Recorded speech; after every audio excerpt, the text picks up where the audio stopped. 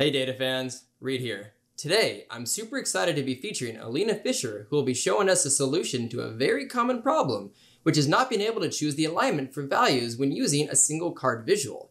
Now, I know this has been a major pain point for myself, and I'm sure for many of you as well. So let's go ahead, hop into Power BI, and get started.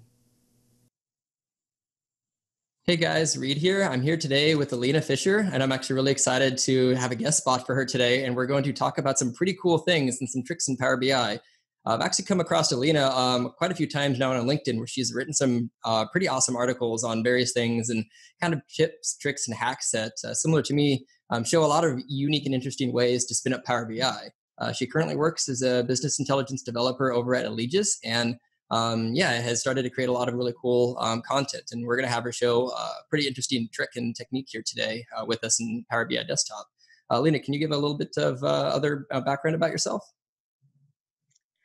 Sure. So, um, actually, my original background is engineering, and I really loved it. But you know, life happens, and I got into the data and uh, BI and I cannot be more happy. This has been super awesome. I really love awesome. everything I do, and um, yeah, I'm pretty excited that Reid invited me over here. This is like this is my first time with the camera, so um, I might be nervous. I have water, I have wine, everything, you know, just to make sure Perfect. it goes smoothly. But uh, yeah, let's uh, let's see the trick. Awesome. So yeah, we're going to go ahead, you know, and uh, roll in with this. We're going to have a lot of fun, and let's just go ahead and flip over to the demo and show people this. Uh, yeah, I, I would say a pretty cool technique on um, um, card formatting and alignment. So let's uh, hop into it. yeah, so Alina, we are having some conversations, um, and you know, the the idea for this kind of came about with the, the fact that the single value card, super useful, um, is used in almost every single report. But one of the biggest problems for it, um, and I'll have you speak more to this, is the fact that it always is middle and center. There's no top, left, or bottom, um, or any alignment that you can change it. And that can certainly be an issue. I know I've had a significant number of clients who've come to me and asked for fixes to that, and I don't always have an answer for them. So, you know, th- this was a really great, you know, out of the box solution when it comes to fixing a, a common pain point. So, you know, maybe if we want to kind of walk through the you know the problem that we have in front of us you know you can expand that out a little bit and then go and show the some of the, the solutions that we ended up developing together Sure. So yeah, um, kind of the whole story but behind it is, you know, the same probably for everyone. We needed mm-hmm. to show long text and then we needed to align it and then this long text changes, right? So maybe the refresh happened and now it's shorter text or something. And it's really hard to align it perfectly. And this is how we have it on the screen here, right? Like I'm gonna just show through a couple different situations, right? When you have, let's say, long text, right? It's right in the middle. It's hard to align it to anything. For example, in my report, I had some kind of label next to it, and I was mm-hmm. trying to let it align it next to the label, and of course, that didn't happen. Also, with the value, right? Value is super hard to try and align again. Like companies want to know, like that one big number that they're looking at, and it has to be pretty. It has to be right, you know, looking at their face, and it's super hard to align it and you know make it like let's let's be honest, left aligned most of the times. um, but yeah, um, also as an example, we're going to show date. You know how month names change from the short mm-hmm. ones like May or June to like December ones that are super long. But again, like this kind of like couple of different situations, um, you know, made me think what is going to be, you know, how we can work around it.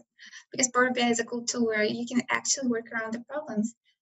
So, okay, let's check out the solution. Perfect. And here it is. As you can see now, you have all these cool options. You can left align, you can center align, you can, you know, do right alignment. Mm-hmm. You can mm-hmm. also do top, bottom, or even in the middle.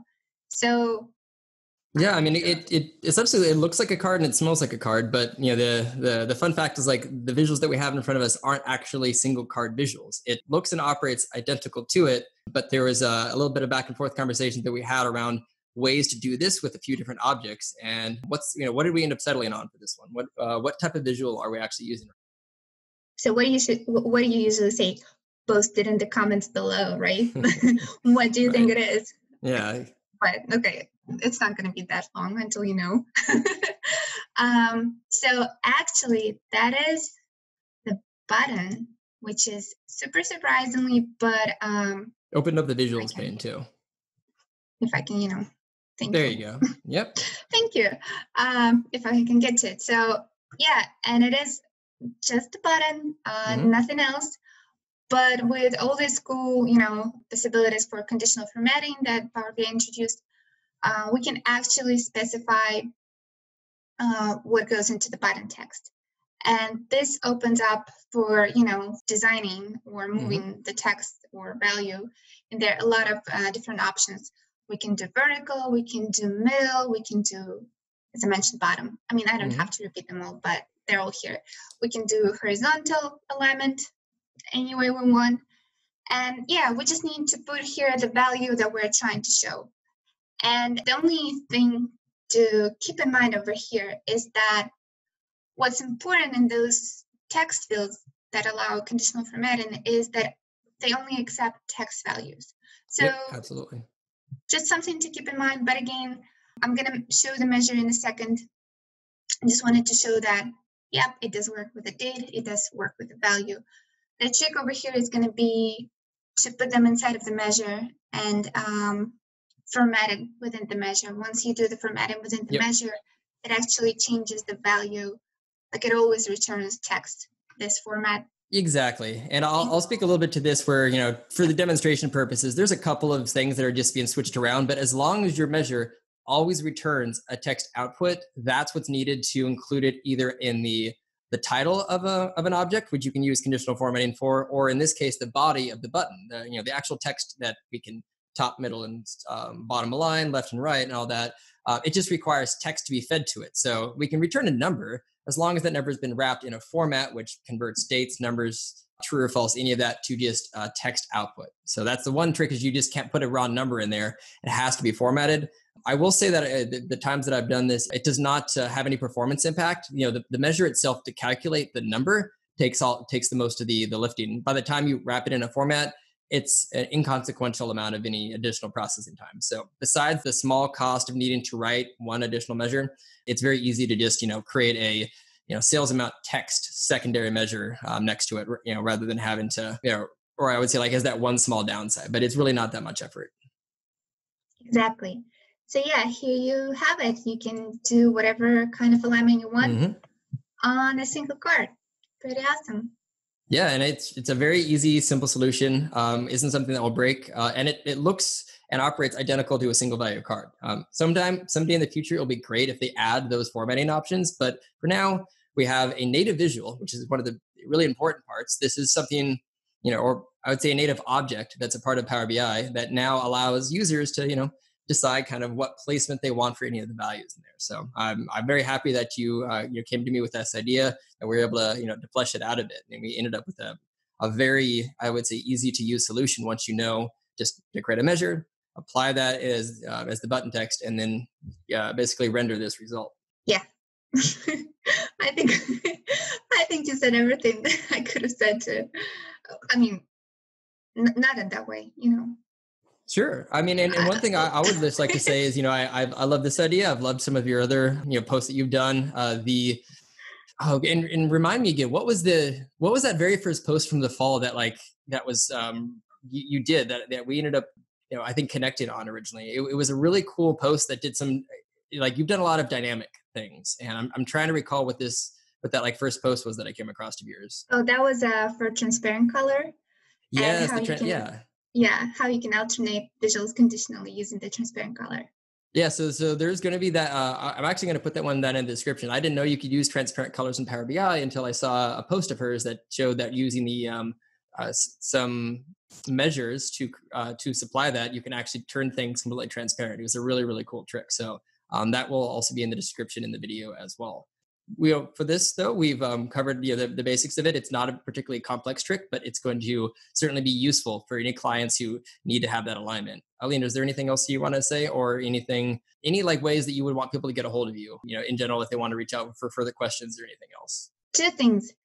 First sure, sure add me on linkedin. That's like the only one um, profile i actually have which you know maybe in the future i'm going to be working on my own website but I want to have it done by myself. So it's okay. going to take me like, you know, two or three years. So we're not waiting to write articles in the meantime, I'm posting them on LinkedIn. Perfect. And the second thing is I kind of feel like I'm, you know, not at the Oscar level, but kind of close. So I just want to thank thank you, Reid, for giving me the opportunity to talk, to show, and to share the idea. And yeah, honestly, I wanted like that first article I wrote was after listening to your webinar, and I was like, wow, this is pretty cool. This is one of the, the most interesting webinars I've attended. And I just wanted, you know, to contribute to the community because I felt like I just felt like it. uh, so yeah, thank you. It was a pleasure. Thank yeah, you. absolutely. And um, thanks for being on. And I'm looking forward to the next article you have as well. Thanks. Thank you so much for watching. And please don't forget to like, comment, or share this video. If this is your first time to my channel, or you want to see more of these awesome videos, smash that subscribe and notification button. And last but not least, you can download the file for today's video from my blog piles page using the link down below.